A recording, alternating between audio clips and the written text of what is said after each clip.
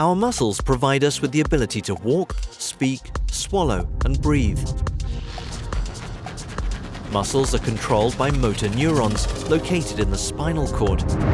The axons of motor neurons are connected to our muscles through large nerve bundles and form specialized endings on individual muscle fibers. These so-called neuromuscular junctions transfer information from the motor neuron onto the muscle fiber, leading to its contraction to movement.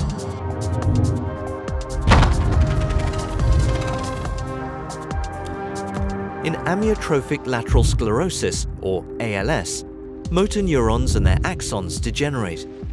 Unable to function, muscles weaken and patients ultimately lose the ability to initiate or control movement, leading to death within three to five years after disease onset.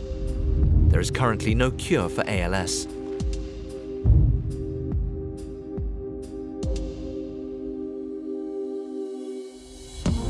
Although the cause of this disease is poorly understood, changes in the DNA of ALS patients lead to the production of defective proteins with an abnormal function and distribution. In ALS, proteins accumulate in large aggregates. These aggregates prevent proteins from localizing to that part of the motor neuron where they normally function. An important current hypothesis in ALS research is that protein aggregation results in a reduction of essential proteins in motor axons. This reduction leads to defects in the maintenance of motor axons and neuromuscular junctions, and as a result, to loss of muscle innervation.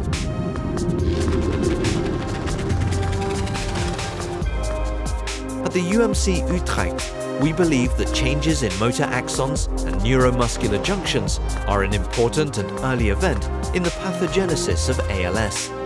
We are investigating how and why axons and neuromuscular junctions change in ALS and how we can treat these changes.